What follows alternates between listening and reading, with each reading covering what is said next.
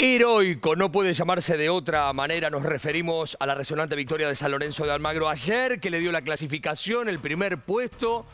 y además eliminó a su rival que prácticamente tenía todo cerrado como para disfrutar de la punta en soledad del grupo. Y ni que hablar de la Copa Libertadores de América, pero cambió el cuadro de situación. Ganó Paranaense de visitante, Rodinei marcaba el 1 a 0 para el Flamengo que pretendió hacerse fuerte en la cancha de San Lorenzo y lo logró prácticamente hasta promediando la segunda etapa, pero llegaría ese fuego sagrado del ciclón que ya supo de reacciones, por ejemplo, como ante la Universidad Católica de Chile cuando necesitaba ganar o ganar la cabeza otra vez, como en el clásico de hace días nada más, ante Huracán de Angeleri el 1 a 1, la expectativa hasta el final, San Lorenzo que iba a la carga y Flamengo que con el empate le alcanzaba para seguir con vida en la Copa Libertadores de América, empezó a retroceder, retroceder, retroceder. En consecuencia, fíjense, ¿no? Lo que hablamos, damos pautas de esto, prácticamente pelota sobre la línea,